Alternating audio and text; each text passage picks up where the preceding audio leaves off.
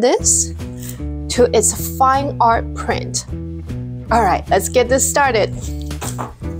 Hi everybody, welcome back to my studio. Stella here.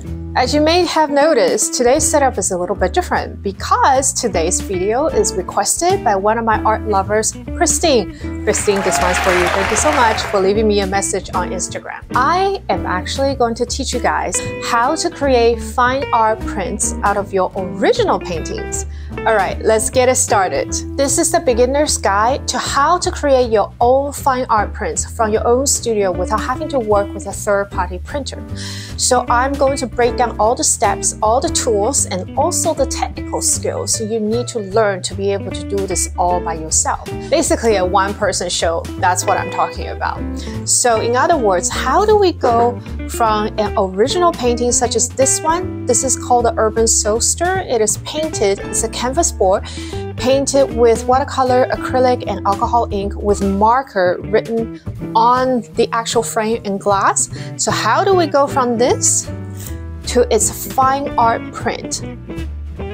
Step one, get your painting finished. You know what? If you don't even finish your painting, there's nothing we can work with. So get it finished. In my case, I just finished this about three days ago. It's fully dry now. It's also UV treated. This is actually acrylic on canvas board, so there's that.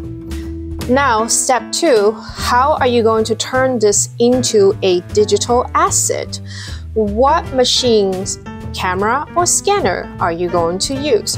Well, in my case, I am using, and my preferred weapon of choice is actually Epson Perfection V600 photo scanner.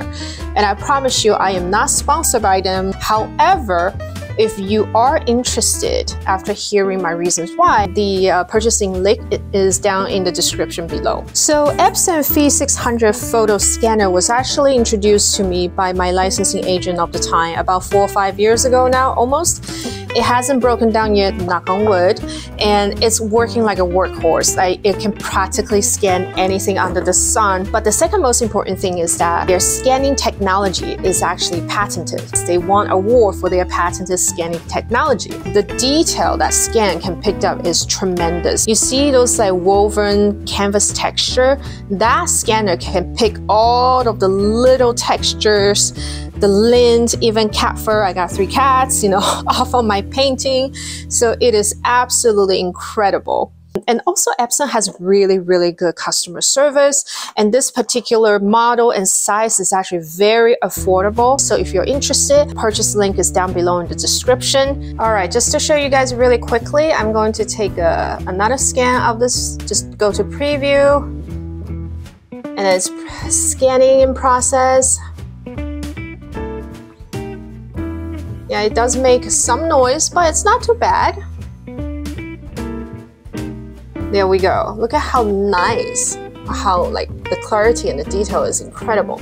But anyways, so actually, if you guys are interested for me to make another video about how to actually adjust all these settings, let me know and how to do post editing in Photoshop just leave your comments down below. I think that's actually very, very important because there's no way you can just sell the scan as is. You definitely have to clean it out and make sure you crop it to size or the size that you want. And then also do color correction, all that based on the type of paper that you'll be using. All right, let me know. Now let's talk about paper. So for my basic art prints, I use the Epson Ultra Premier presentation paper in matte. I find this paper to be very sturdy, very high quality, um, it's white, but it's not so pure white where it actually hurts your eyes.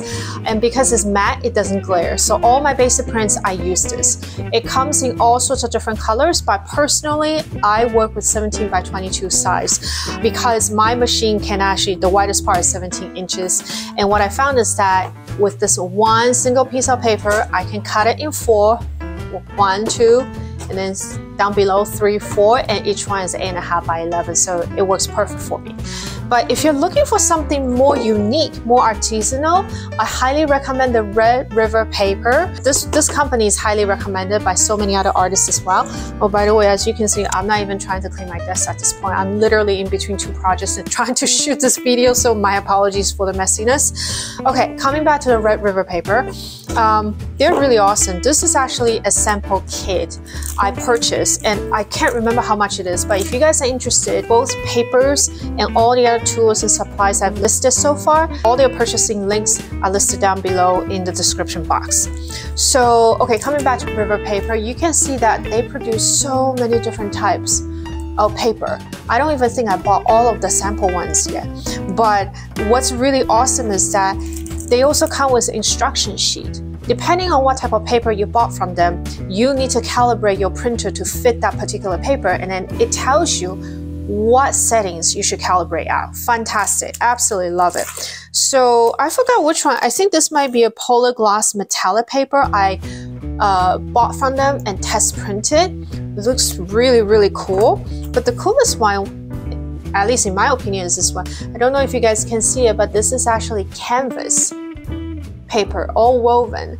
I absolutely adored it and I test printed this tiny little swatch. Unfortunately, about a couple months ago, oh no, actually six months ago, they discontinued this one, so I was heartbroken. So there's that. yeah, but see, these are all the little test prints I did it.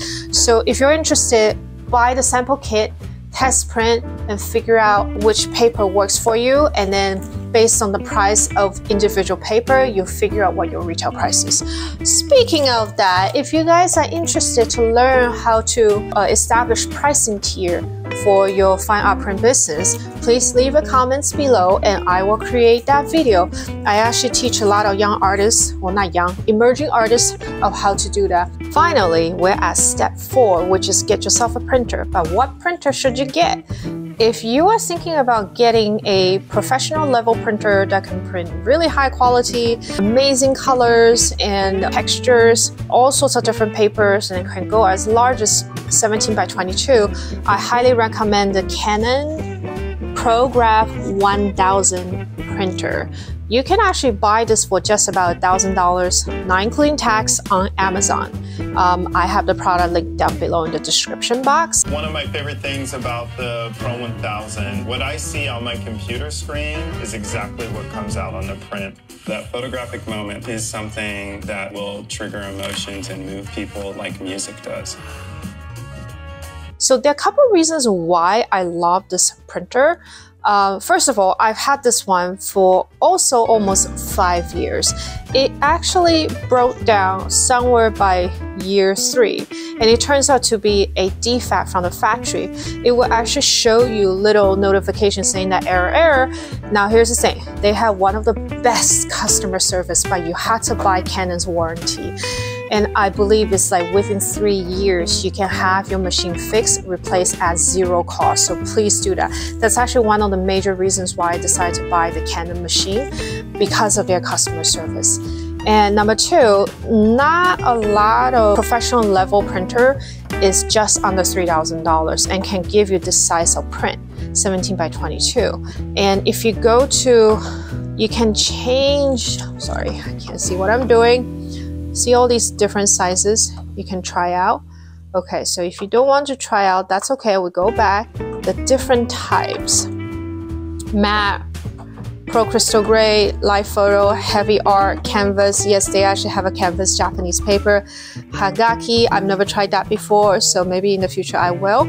But remember the Red River paper we would, I was just showing you guys? So the Red River Paper Company actually tells you for their type of papers which setting you should actually select. So it was extremely helpful. The only drawback, the ink is not cheap at all. Um, it can cost you $799 if you buy everything at once. But here's a big but.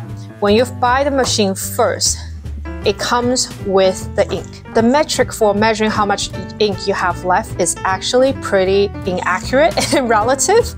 Um, I actually called the customer service so many times, and even they can figure out how their machine actually measures how much is left. So I did the dumbest thing ever. I basically measure it according to my own printing needs and the time. And let me tell you, I do a lot of very colorful prints that use more than seven colors each time. And even when this little notification sign shows up, usually the ink will still last for another four to five months. So that's pretty much how I measure it. So honestly, I got another probably six months to go, four to uh, five to six months to go. So yeah, so even though it's, it's uh, the ink cartridges are very expensive, but if you buy individual, it's not going to kill you. And even when your monitor tells you it's low in ink, most likely you can go another four to five months, you know, before the machine really starts to shut down.